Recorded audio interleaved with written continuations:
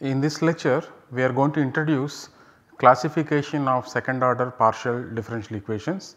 It is also known as classification by characteristics. Outline of today's lecture is we start with a review of uh, lectures 3.1 and 3.2. Then we introduce uh, define what is called characteristic curves using which we will define what is meant by classification of second order partial differential equations. In fact, we are going to classify second order quasi linear partial differential equations and then a few remarks on classification. Uh, recall uh, the second order quasi linear equation we denote by 2QL it stands for this equation AUXX plus 2BUXY plus CUYY plus D equal to 0 coefficients ABC of the second order derivatives and D are functions of x, y, u, ux, that is why this is quasi linear. When the coefficients depend only on x, y particularly a, b, c depend only on x, y and d may depend on all the 5 variables here x, y, u, ux, uy in that case 2ql is actually called a semilinear equation. So, this is a linear equation which we will also be looking at. So, in this A, B, C note they depend only on x, y even D its dependence on u, ux, uy is linear okay u here, ux here, uy here and a function of x and y equal to 0. So, this is second order linear PDE. So, let us start with a review of the lectures 3.1, 3.2 what we did there. In lecture 3.1 we came across this ODE a of zeta y minus 2b zeta y d phi by dy plus c of zeta y d phi by dy whole square equal to 0 where zeta y is this phi tuple phi y y u of phi y comma y ux at the point phi y comma y uy at the point phi y comma y. So, if the Cauchy data is prescribed on any curve gamma 2 given by x equal to phi y, yes in lecture 3.1 to start with we considered a parameterized curve regular parameterized curve gamma 2 given by x equal to fs and y equal to gs. And later if the curve is given by an equation of this form in other words it is a graph of uh, function of y x equal to phi of y then the equation that we got there del, namely delta s equal to 0 reduces to this equation. This was already observed. Okay. So, if the Cauchy data is prescribed on any curve gamma 2 in the plane given by x equal to phi y the equation where phi does not satisfy the above ODE okay, derivatives of all orders for a solution to 2QL can be determined at all points of gamma 2. Okay, note here the zeta y of course involves the given solution u of the 2QL the quasi linear equation second order quasi linear equation. So, given such a curve gamma 2 such that the phi does not satisfy the solution where u is we have to input the given function u. If it does not satisfy this equation then we can determine all derivatives derivatives of all orders for, for the solution u uh, can be determined at all points of gamma 2. In lecture 3.2 also we came across the same ODE. Okay. I will not repeat exactly same ODE. How did we get that? We assume that a curve gamma given by x equal to phi y is a curve of discontinuity for second order partial derivatives for a piecewise smooth solution to the second order quasi linear equation. Then phi solves the above ODE. So, the regular curves for which this equation is satisfied they can be determined for a second order quasi linear equations only if we are given a solution u. In other words an integral surface z equal to uxy is given. This is another way of saying that a solution u is given because only then the coefficients are determined and once coefficients are determined we can try to solve for phi satisfying this ODE. For semilinear equations as we observed A does not depend on a, all the 5 quantities namely x, y, u, ux, uy it just depends on x, y. Same thing is with B and C. So, all the A, B, C functions they depend only on x and y. which means what? This u knowledge of u is not required. Therefore, this ODE is meaningful without the knowledge of any integral surface since ABC are functions of xy only. Now, let us introduce characteristic curves for second order quasi linear PDEs. So, defining the notion of characteristic curves for 2QL, they will be defined as curves satisfying the ODE that was obtained in lectures 3.1, 3.2, the equation that we saw just now.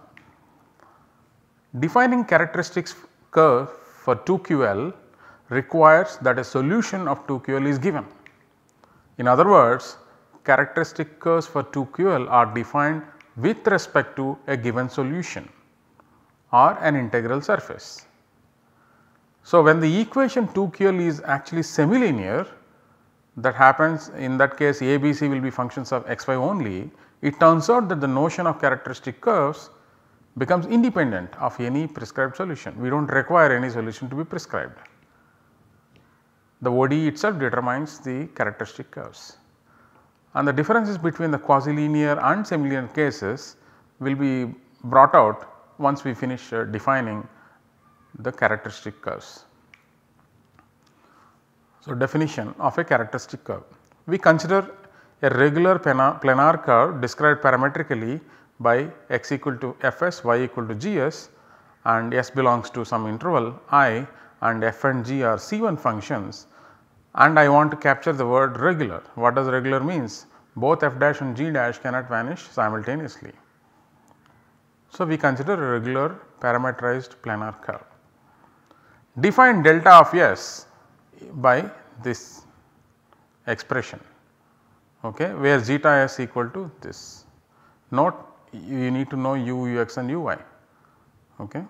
So, given a u we can define zeta s. In the definition of characteristic curve we will see that u has to be defined as a solution of the 2ql equation then this is well defined. So, delta of S is denoted by this. Now, the definition gamma 2 is said to be a characteristic curve for the PDE second order quasi linear equation 2QL with respect to a given solution of 2QL if delta S is identically equal to 0 for all S in I. At every point on the curve delta S is 0. It is said to be a non-characteristic curve, okay, it is exactly opposite of what is a characteristic curve. It is a non-characteristic curve means at no point delta S equal to 0 is satisfied. Of course, because we are dealing with uh, 2QL we have to write non-characteristic curve for the PDE with respect to a given solution. If delta S is not equal to 0 for every S in I. So, when the PDE is actually semilinear then delta S equal to 0 reduces to this. The zeta S has gone, zeta S is actually FSGS in this case because ABC are functions of xy only. Therefore, delta S depends only on f and g. What is f and g? They are the ones who are describing the curve gamma 2. The curve gamma 2 is parameterized using f and g. So, if gamma 2 is given by y equal to psi x, what will happen to this equation? It will be this. Psi will be a solution to this ordinary differential equation. It is a quadratic in dy by dx. So, it is a first order ordinary differential equation, but degree 2. So, we may solve for dy by dx from this equation and get this expression dy by dx equal to b plus or minus root b square minus a, ac by a. So, the moment we see square root we have to become alert. Therefore, if this is negative then there are no real solutions for this equation for dy by dx. Okay. If it is positive b square minus ac is positive then we have two different ODEs given by this one corresponding to plus one corresponding to minus and this is equal to 0 we only have one ODE. So, the equation 1 which is given above is called the characteristic equation for the semilinear equation and its solutions are characteristic curves.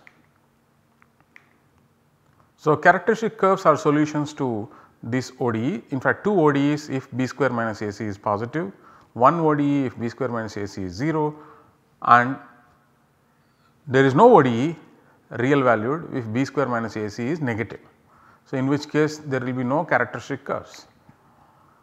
So, if b square minus AC is positive, two families of real characteristics exist which are transversal to each other because the slope at any point will be divided at any point of intersection will be one will have slope b plus root b square minus AC by a, other one will have b minus root b square minus AC by a both are different. They are one and the same if and only if b square minus AC is 0. If b square minus AC is 0 there is only one family of real characteristic curves because there is only one ODE here. If b square minus AC is negative there are no real characteristic curves. So, this is what leads to classification of second order equations. So, let u be a solution of the quasi linear PDE here define a function delta actually it is b square minus AC at this point x y u x y u x of x y u y of x y that is delta at the point x y. So, with respect to the given integral surface z equal to x y this delta makes sense now it is a function of x y because u is already given to us therefore, all the members of this phi tuple are known at any point x y. We say that the given equation is of hyperbolic type at the point x y if delta x y is positive. It is of parabolic type if delta x y equal to 0. It is of elliptic type if the delta of x y is negative at this point. Remember hyperbolic type at the point x y, parabolic type at the point x y, elliptic type at the point x y is very important. Equation can change types from point to point, we will see such examples also. So, if you want to define classification only for semilinear equations, we need not start with a solution of the quasi-linear PDE. We say consider the semilinear PDE A of xy uxx, 2b of xy uxy plus c of xy uyy plus d of the same thing xy u ux uy equal to 0. Define delta of xy equal to b square minus ac at the point xy and exactly the same definition. So, normally people want to avoid this kind of uh, unpleasant thing that you have to say all the time that you have to fix a solution to the quasi-linear PDE then only classification is defined. People simply start with semilinear equations where you need not mention this.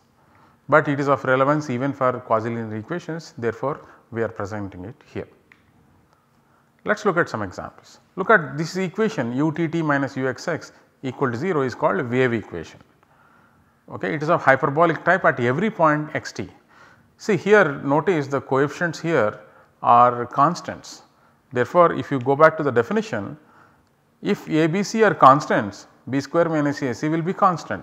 Therefore, given any equation it will be of exactly one type at all the points. So, here what is delta of x t? b square minus a c b is 0 here a is minus 1 c is 1 therefore, delta is 1. This equation ut minus uxx equal to 0 is called heat equation. It is of parabolic type at every point since delta x t here b and c are 0 only a is there a is minus 1 therefore delta is 0 b square minus ac is 0. The Laplace equation uxx plus uyy equal to 0 is called Laplace equation. It is of elliptic type at every point because delta of x y here b is 0 a and c are 1. So, it is minus 1 delta is minus 1. In fact, these three equations are are the ideal equations okay they are the simplest examples of each of these types of equations. Wave equation is a is a canonical candidate for hyperbolic equation. Whenever you think of hyperbolic equation second order you think of wave equation. Similarly, for a parabolic equation if you want to think of it is a heat equation. Elliptic equation means Laplace equation. Therefore, given any other second order partial differential equation where A, B, C are not constants, okay, we will ask the following question is it possible to do a change of coordinates so that after changing the coordinates at least the part which involves second order derivatives will have constant coefficients and looks like this for a hyperbolic equation, looks like this for a parabolic equation, looks like this for a elliptic equation. This is a question that we will ask later on. This is a very important example Tricomi equation this is also a very simple equation uyy minus yuxx equal to 0, but these are not with constant coefficients. Here a of xy is minus y, b of xy is 0 because uxy is absent, c of xy is 1. So, b square minus ac is y and b square minus ac can become positive, can become negative, can become 0. So, that is why this equation will have all the 3 properties of course at different points. So, Tricomi equation is of hyperbolic type in the upper half plane because that is where y is positive. Parabolic type on the x axis because y equal to 0 is the equation of the x axis. It is of elliptic type in the lower half plane because in the lower half plane the y coordinate is less than 0 negative. So, Tricomi equation is one of the simplest linear partial differential equations which is of mixed type on R2. In fact, not only in R2 take any domain any domain which contains x axis and therefore, it contains some part of upper half plane as well as some part of the lower half plane of course, some part of the x axis. So, it will have all the 3 types the equation will be of all the 3 types therefore, there will be natural questions what kind of problems I should be able to solve for these kind of equations. We will not be discussing Tricomi equation as such in this course. In fact, no mixed type equation will be discussed. A wealth of literature is available on Tricomi equation. Now, definition of classification is symmetric in A and C. Why? The definition is based on B square minus AC.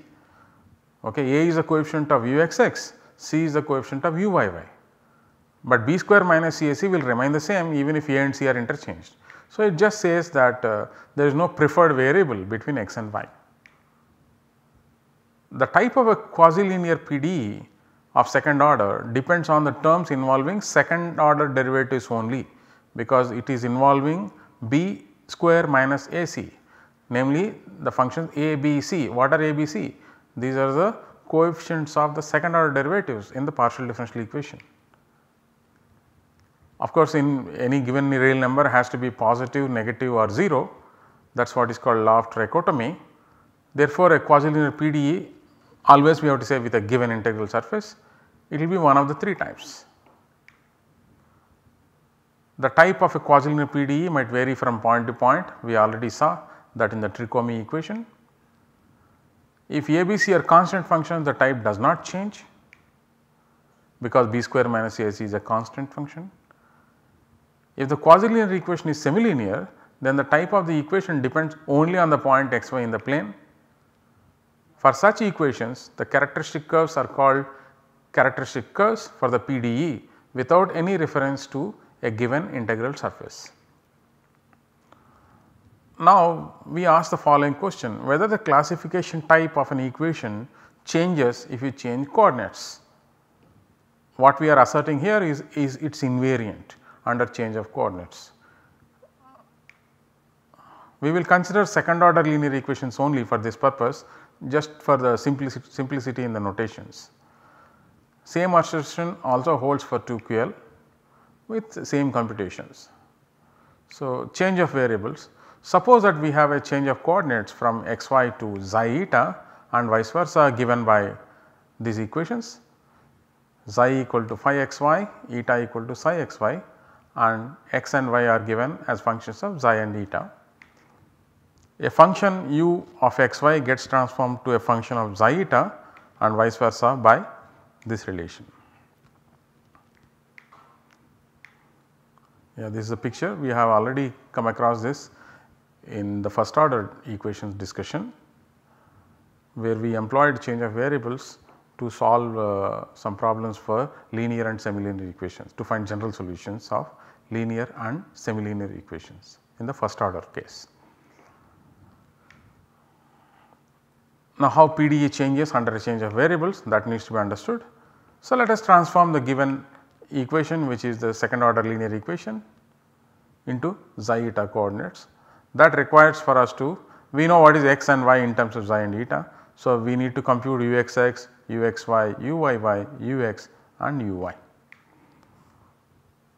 So, differentiating uxy equal to w of uh, phi xy comma psi xy with respect to x and y gives you an expression for ux and uy. Let us see what is ux. So, differentiate w with respect to this variable which is xi and then differentiate phi with respect to x. Differentiate w with respect to eta and then differentiate psi with respect to x. This is the chain rule. Similarly, we get uy. Please do all these computations, pause the video, do the computations by yourself. Because the computations are spread over many slides, so it is very difficult to show you all the time all the equations. So, differentiate once again because we need to compute uxx, uxy and uyy so that we can go back and substitute in the given linear equation. So, compute uxx, uxy and uyy substitute them in the equation then you get an equation of the following type capital A W xi xi plus 2 times capital B W xi eta capital C W eta eta plus d W xi plus E W eta plus F W plus G equal to 0. Now we have to tell what the coefficients A, B, C, D, E, F, G are, but we want to say what is the assertion that we wanted to make the type of the equation does not change and the type of the equation is determined by b square minus ac. Therefore, it is enough to know what is this capital A, capital B and capital C. We do not have to know what D, E, F, G are. Therefore, we do not present. So, we just write what are the expressions for A, B, C which are this. Please do the computations on your own. As I pointed out there is no need to compute other coefficients D, E, F, G because the classification type of a PDE depends only on the coefficients of the second order derivatives. So, b square minus AC you get this expression this is the new b square minus AC right capital letters these are small letters b square minus AC multiplied by with somebody's square ok. Uh, so, as long as this is non-zero the sign of b square minus AC here it will be the same as the sign, sign of the b square minus AC here. If this is negative this will also be negative. If this is positive this will also be positive. If this is 0 this will also be 0. So, we need to know that phi x psi y minus phi y psi x is non-zero, but it is non-zero because it is a determinant of the Jacobian matrix corresponding to the change of coordinates. Therefore, it is non-zero. Therefore, the type of the equation does not change under a change of coordinates. Now, we give uh, some remarks on classification it is a different basically a different perspective. The following perspective is presented in the book of uh, Hellwig on partial differential equations. Let us ask some questions. Is the classification necessitated by the way the mathematical problem is posed? Is it inherent to the problem itself? Or is it because we have different methods for different types of equations. Is it because you know how to solve a certain type of equation therefore, you give it and classify it and then solve another type of equation you know how to solve separately. So, you give it another name in other words you put it in a different classification and do it is that the reason or is it something inherent to the way mathematical problem is posed. So, second one could be due to our inability to find a common method to deal with all equations. Because we are unable to deal with all the equations a, by a common method, we uh, compartmentalize the equations and then solve them separately. Is that the case? That is a question posed here. These questions are purely mathematical, therefore, it will be ideal to have answers based on the first two criteria of Hadamard. Hadamard gave a criterion for a problem to be well posed, there are three aspects to that. The first criterion is existence of a solution, second aspect is uniqueness of a solution, third aspect is continuous dependence on the data in the problem. often the, the third one is desirable because the equation that we are going to deal with or the problems that we are going to deal with are coming from some uh, physical models and measurements in the physical situations are only approximate. Therefore, by making some errors in the measurements that namely the data in the equation or in the problem, we do not uh, get solutions which are very far from the actual solutions. Therefore, the third property of Hadamard is desirable. But Hellwig says can we justify using just uh, existent and uniqueness because these are mathematical questions. How many solutions are there whether there is a solution. Using only these two can you justify uh, the classification. Often people give an explanation for classification by saying that different kinds of problems are well posed for different kinds of equations. That is a justification people give. So, Hellwig does not seem to agree with such a justification. Therefore, he asks himself this question can I justify using only existent and uniqueness parts because these are mathematical. So, we present this perspective in the context of systems of first order PDEs. PDEs of any order scalar or a system of equations can be converted into a system of first order PDEs. In fact, the same statement was made even for ODEs. This is due to uh, D'Alembert.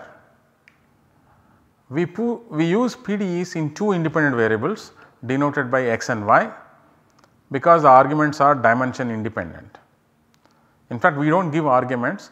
I uh, request you to consult the book of Hellwig for more details. My idea was to bring this kind of thinking to your notice. So, theorem 1 existence theorem of Cauchy-Kovalevsky this we have hinted at in lecture 3.1. Now we are going to pose this theorem for a very special quasi-linear system. Consider this quasi-linear system in this unknowns are u1, u2, un and there are n equations uix means derivative of u with respect to x ui with respect to x i equal to 1 to n. There are n equations there are n unknowns these are quasi-linear because the uky coefficient depend on the unknowns also. In fact, x is not considered here okay x and y could also be included, but in this theorem it is not included. So, consider this system what is uh, if you look at what is that uh, that is different from the kind of equation that we are considering. Here the derivative of x is explicitly given in terms of other other derivative okay that is the difference. There is no coefficient uh, sitting in the front of this. Okay. Let phi i that is phi i of y be analytic functions in a neighborhood of the line y equal to y 0. Denote ui 0 equal to phi i of y 0. Now let fik be analytic in a neighborhood of this vector u 0 which is given by u 1 0, u 2 0 and u n 0 which is nothing but this phi 1 y 0 comma phi 2 y 0 up to phi n y 0. These are the hypothesis. Then the quasi-linear system has exactly one solution with the property that is analytic in a neighborhood of this point 0 comma y 0 and this vector solves the quasi-linear system and initial conditions are satisfied. A proof is available in Courant Hilbert's book on methods of mathematical physics. The main ideas in the proof were already presented in lecture 3.1. Ideas can be implemented without any difficulty. We need to ask the following question we had a difficulty in the form of delta s equal to 0 in lecture 3.1. We tried to determine all the derivatives. First derivatives came up very easily using the Cauchy data. Second derivatives there was a problem delta s equal to 0 we could not determine. So, there was a difficulty that is not there here. Okay. So, you have to remember the Cauchy-Kovalevsky theorem is the theorem that we stated. So, compare the differences between the PDEs considered in both these contexts I already gave a hint what is the difference. Cauchy problem handled by theorem 1 looks similar to one of the illustrative examples that we have presented in lecture 3.1. Go and find out what that is and what the similarities are. In theorem 1 the PD has a special property x derivative of the unknowns ui's is solved for explicitly. That is why delta s does not appear and therefore, we can solve the problem without classifying into types. It means that even in the analytic setup which is the best of uh, things, right because you have nice series for everything that, that you have. We cannot do away with the classification that is what we observed in lecture 3.1. Now we are going to look at one example of Perron. This is a reference if you wish you can consult this uh, journal or it was very it is very much uh, explained in the book of Hellwig. Okay, for a real number a consider this problem it is a system of two equations ux minus uy minus vy equal to 0 auy minus vx plus vy plus f of x plus y equal to 0. Here f is a given function and you are given this condition u of 0 y and v of 0 y are 0. So, the unknowns are u and v. Okay. There is a way to classify first order systems of PDEs which we have not introduced, but you can ignore for the moment these names. What matters is uh, these conditions. So, this A is a number depending on whether positive, 0 or negative the, the properties of this system, system changes. We are going to give the assertions. So, the system is hyperbolic if A is positive, parabolic if it is 0, A is 0, elliptic if A is negative. System of first order PDEs have a classification, see the book on PDEs by Garabedian that book has. So, system is hyperbolic if A is positive, parabolic if A equals 0, elliptic if A less than 0. Do not worry if you do not know the definition of hyperbolic, parabolic, elliptic for a system of first order PDE because assertion will not need that. So, this is about necessary and sufficient condition for the existence of solution uv in C1. It is a first order PDE you expect solutions to be C1. What is the condition? In the hyperbolic case that is when A is positive you require that f to be C0 continuous, C0 means continuous function. For parabolic case that is when A is 0 you require f to be C2 for the same assertion what is the assertion? Necessary and sufficient condition for the existence of a solution which is C1 u and v are C1 functions. That changes from case to case if A is positive you require f to be C0 if A is 0 you require f to be C2, if A is less than 0 you require more smoothness on f that is analytic. So, it also turns out that these are the only solutions that is Hadamard's first two criteria are, set, are met. So, this example once again illustrates that the idea of classification is for mathematical reasons not because of the third requirement of Hadamard. Let us summarize what we did in this lecture. We introduced the notions of characteristic curves and characteristic equations for second order quasi-linear equations. We observed how these notions get simplified for semilinear equations. We classified the second order quasi-linear PDEs as hyperbolic, parabolic and elliptic. This classification is also called classification by characteristics. We presented a different perspective of Hellwig on classification of course, we have also shown the, the classification type does not change with change of coordinates. And in the next lectures, we are going to uh, take wave, heat and Laplace equations as inspiration and ask the question whether given any PDE can I do a change of coordinates so that at least the part which involves second order partial derivatives looks like that of one of these three equations those are called canonical forms. We will discuss them in the forthcoming lectures. Thank you.